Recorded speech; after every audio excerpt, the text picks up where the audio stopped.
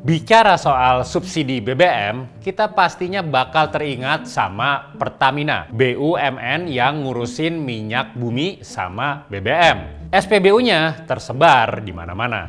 Menurut data Fortune Indonesia 100 terbaru, Pertamina adalah perusahaan dengan pendapatan paling gede di Indonesia. Pendapatannya lebih dari 800 triliun dengan keuntungan bersih hampir 30 triliun. Jadi, kebayangkan super raksasanya Pertamina ini. Banyak cerita soal Pertamina, dari sejarah pendiriannya sampai kasus-kasus mega korupsinya. Perusahaan ini emang penuh kontroversi juga. Sebetulnya dalam sejarah bangsa kita yang namanya Pertamina ini nyimpan harapan besar. Para bapak pendiri bangsa kita, Bung Karno, Bung Hatta, dan lainnya, mereka yakin banget sama potensi kekayaan alam Indonesia. Jadi, dulu itu di zaman penjajahan Belanda, banyak yang nyinyir sama kemampuan bangsa Indonesia buat merdeka dan mandiri. Ini gara-gara kondisi rakyat kita. Dulu 95% warga pribumi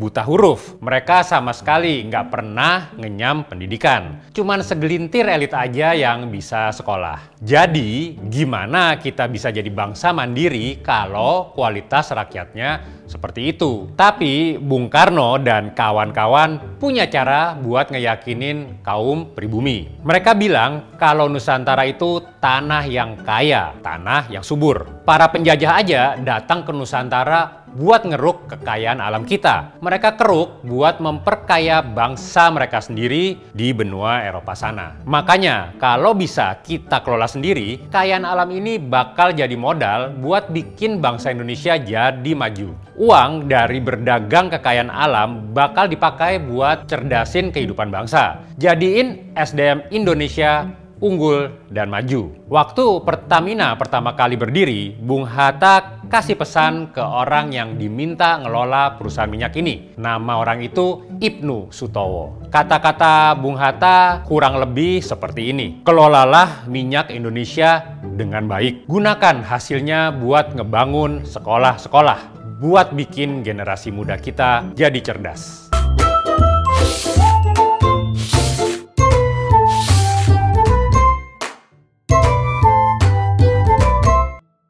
Sejarah Pertamina nggak bisa dilepasin dari sosok Ibnu Sutowo.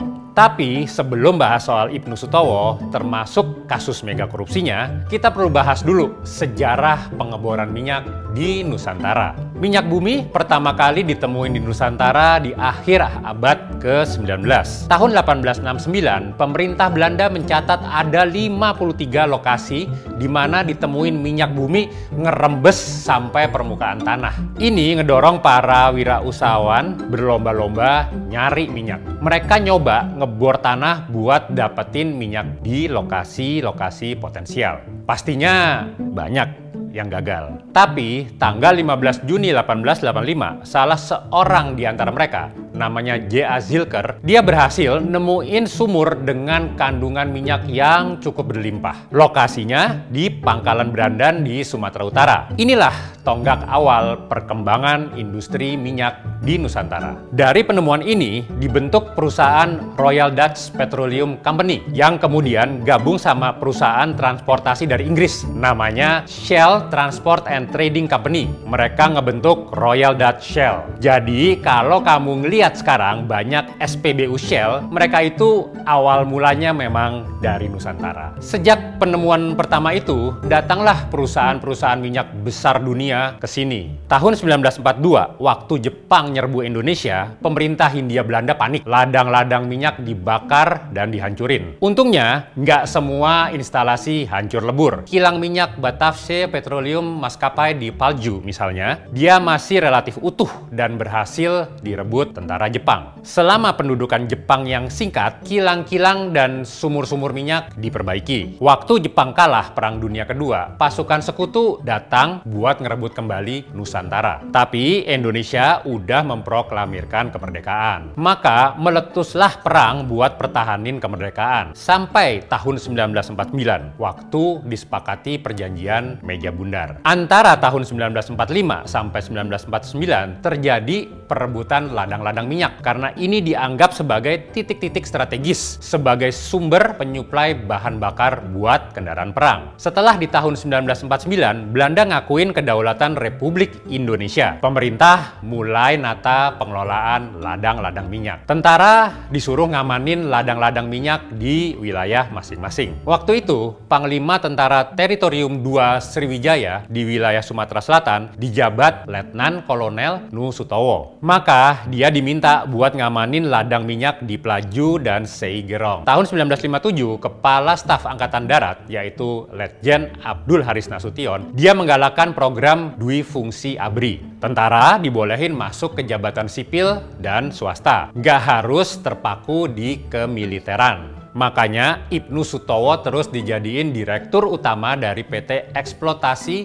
Tambang Sumatera Utara. Perusahaan ini kemudian berubah nama jadi Perusahaan Minyak Nasional atau Permina. Tahun 1998, sesudah pemerintahan beralih ke tangan Jenderal Soeharto, Permina digabung sama beberapa perusahaan minyak lainnya. Jadilah PT Pertamina. Ibnu Sutowo diangkat jadi Direktur Utama Pertamina yang pertama.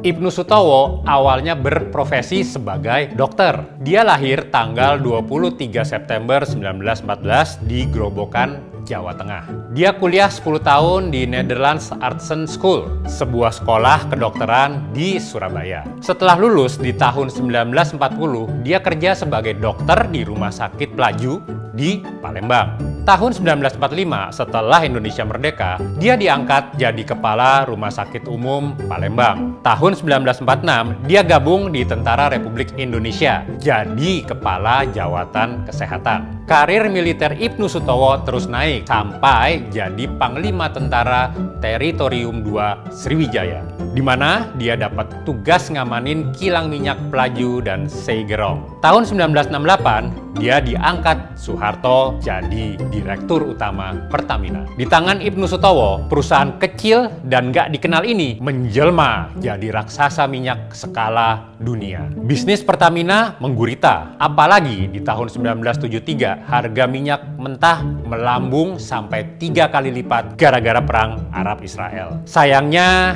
masa jaya ini bikin semua pihak terlena. Ibnu Sutowo punya hubungan erat sama Soeharto. Dia sangat dipercaya. Ibnu Sutowo dan Pertamina sering dapat tugas khusus dari Soeharto, termasuk ngesupport proyek pesawat terbang dari BJ Habibie di IPTN, Industri Pesawat Terbang Nusantara di Bandung. Pertamina jadi kerajaan Ibnu Sutowo. Dia nggak bisa dikontrol dan diawasi sama siapa pun, termasuk pemerintah dan DPR. Akibatnya korupsi merajalela. Tahun 19 1975, kondisi keuangan Pertamina memburuk sampai nyaris bangkrut. Banyak investasi proyek yang gagal. Pertamina terbelit utang 10,5 miliar dolar Amerika atau sekitar 150 triliun kalau pakai kurs sekarang. Presiden Soeharto bikin Komisi 4 buat nyelidikin dugaan korupsi di Pertamina. Tim ini diketuai Ketua Dewan Pertimbangan Agung Wilopo SH. Mantan Wakil Presiden Muhammad Hatta yang sempat kasih nasihat sama Ibnu Sutowo di awal masa jabatannya, dia ditunjuk jadi penasehat tim. Hasil penyelidikan, ada banyak penyimpangan di Pertamina. Tanggal 5 Maret 1976, Ibnu Sutowo dilengserin dari jabatannya. Tapi dia nggak pernah diproses secara hukum. Malahan antara tahun 1986 sampai 1992, dia sempat diangkat jadi Ketua Palang Merah Indonesia. Salah satu kasus Ibnu Sutowo yang terkenal adalah adalah pendirian Hotel Hilton di daerah Premium Semanggi di Jakarta Selatan. Menurut pengakuan Ali Sadikin,